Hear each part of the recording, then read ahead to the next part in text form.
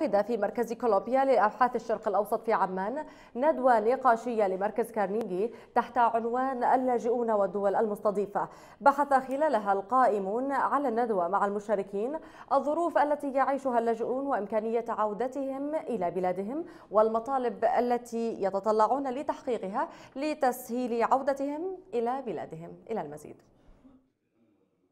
مع استعادة النظام السوري السيطرة على مناطق عدة تصاعدت الدعوات في الدول المجاورة المطالبة بعودة اللاجئين إلى بلادهم لكن اللاجئين من طرفهم يرهنون عودتهم بشروط طالما أهملت إلى حد بعيد في خضم المساعي السياسية الرامية إلى إيجاد حل للنزاع السوري. المجتمع المدني السوري المنبثق بعد آه، وجوده خمسين عام خارج إطار العمل آه، يقوم بعمل جبار إن كان في لبنان أو في آه، تركيا وفي الأردن على نسبة أقل.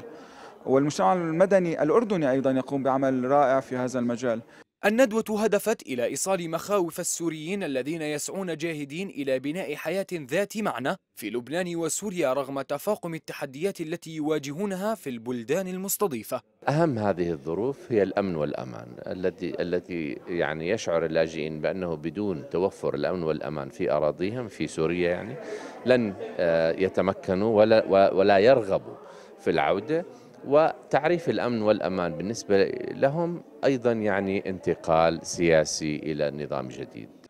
مركز كارنيجي من خلال دراسته الميدانية للاجئين في كل من الأردن ولبنان أشار أن اللاجئين لا يرغبون في العودة ما لم يتوفر انتقال سياسي يضمن سلامتهم وأمنهم والوصول إلى قضاء عادل لحل قضيتهم مطالبين بأن يكونوا جزءا هاما وبارزا سواء مؤتمر جنيف الذي ترعاه الأمم المتحدة أو عبر مفاوضات أستانا التي ترعاه روسيا وإيران وتركيا. الدراسة اللي قمنا فيها اليوم هي هدفها الأساسي آه، يعني أنه نوصل صوت اللاجئين آه، بالأردن وبلبنان بالنسبة لشو طموحاتهم شو أمالهم شو محفزاتهم للعودة لسوريا شو سوريا اللي بيحبوا يشوفوها.